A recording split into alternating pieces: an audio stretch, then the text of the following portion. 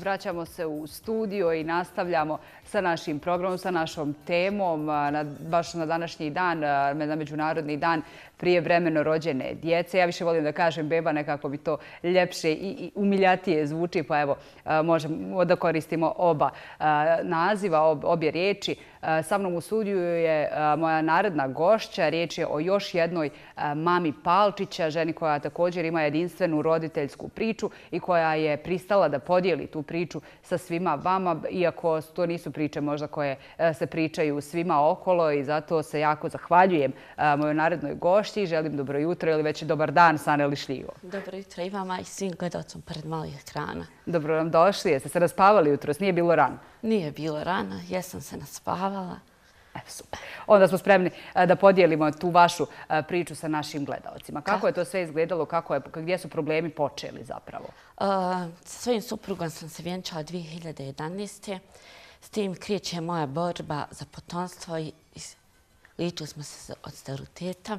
Također tema o kojoj se ne priča mnogo, a problem koji ima jako, jako puno e, ljudi generalno. Jest, jest. E, radili smo van tjelesno plodnju e, i 2017. sam ostala trudna. Vjerojatno sreće nije bilo kraja u tom momentu. Kako da ne, presretni smo bili, beta bila pozitivna. S tim, kad sam ostala trudna, bila je visokorizična trudnoća. Od samog početka, malo je doktora htjela da me vodi jer sam imala pet dijagnoza. Javila sam na jezero ginekologiju, gore, sam se, gore su me vodili doktor Celila Imšire i Blaženka Križan. Ovim se putom zahvaljujem. On su svu moju trudnoću vodili do sedmog mjeseca i više nisam, nismo mogli zdravstveno i ja i beba smo bili ugruženi i predložili su mu sekciju 21. februara 2018. sam rodila djevojčicu. To je znači ta 37. sedmica ili ranije? Ja sam se porodila u 28. sedmici. 28. Da. Moglo je da bude svašta, ali evo ishod je... Rodila sam djevojčicu sa kilu i 300. Bila je gore dva mjeseca na nenatalnoj, u inkubatoru. Nije samostalno disala, na kisiku. Evo sav taj ružni period eh, kojeg se vjerovatno nerado sjećate je iza nas. Još jedan put hvala vam što ste to podijelili sa našim gledalcima, da svi ti roditelji koji su u takvoj situaciji znaju da nisu sami, da ima možda i malo bolja situacija i malo gora, ali da svim roditeljima je jednako teško kada nešto s njihovim djetetom nije u redu. Eh, evo, kažem, prošlo je sve to najgore. Eh, beba je dobro, beba raste, napreduje. Beba sad, hvala Bogu, ima 20 mjeseci.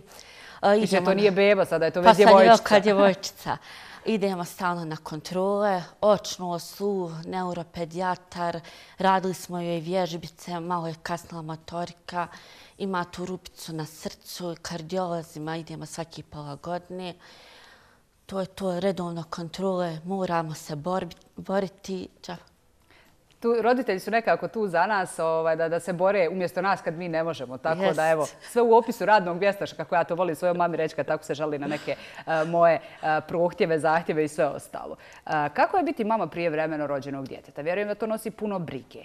Da, nosi brigu Sad sam vam rekla stalno. Ona je još mala, još uvijek nije u fazi kada izlazi vani da se igra s društvom, da ide u školu, vrtić, ono gdje nije vama baš pod kontrolom. Još uvijek je sve to je tako e, kući i još uvijek možete pa da pazite 100%. Jes, stalno ono, po smatranju. Radila sam po četiri sata e, da bi pratila da li motorka, da li fata rukicama.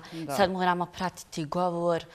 E, non stop, znači, moraš biti sa njom i pratiti kao što rekao, u opisu radnog mjesta roditelja. E, evo ovog jutra svo vrijeme pričamo nekako s mamama prije vremeno rođenih beba. E, sigurna sam da ni tatama nije, babama, očevima, kako god ih ko zvao, da ni njima nije e, jednostavno prolaziti kroz to da im je jednako bolno kao i majkama. Kako se tata u vašoj situaciji nosio sa cijelom ovom pričom? Pa on je uvijek bio uz mene i stalno podrška, znači non stop smo se zajedno borili. Pa njemu je bilo teško. Kad sam ušao sa on je bio ispred sale, čekao da ja carski.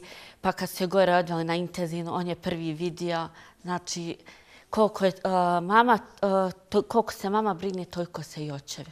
Samo oni neće pred kamere. Oni ne vole da se to sve lijepo vidi vani. Više vole da to ostane između četiri zida, ali svakako ta briga i ljubav nije ništa manja nego majčina. Iako svi kažu da je majčina ljubav posebna i drugačija, ali i tata ima svoju ulogu posebnu u cijeloj priči. Postoji li, evo, prošli ste kroz sve to, postoji li neki savjet, odnosno poruka koju biste u ovom momentu, nakon tog iskustva, tih najtežih dana, mogli proslijediti za roditelje koji sada to prolaze? Ili možda za neke ljude možda, koji neće imati sreću da imaju regularni porod i i sve to koje, kojima će se to možda desiti u budućnosti, pa eto da imaju to negdje. Pa borce moraju, nema odustajanja, znači svaki dan je nova borba. Evo, hvala Bogu, mi smo sve to prošli i djevojčica je, hvala Bogu, sad zdrava. Imala je tu diagnozu neurorističnog djeteta, ali na kraju svaki trud se isplati. Znači, samo borba, strpljenje. Naravno. Ok.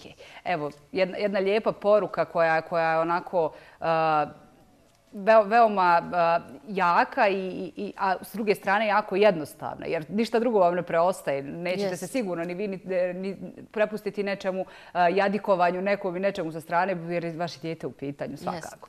E, Sanela, hvala vam mnogo što ste podijelili ovu priču e, sa našim gledalacima. Mnogo puta sam se zahvalila, ali znam ovaj, da vam je jako teško pričati o svemu tome i zato nijedno hvala ne može dovoljno da kaže kada ste vi u pitanju. Hvala vama.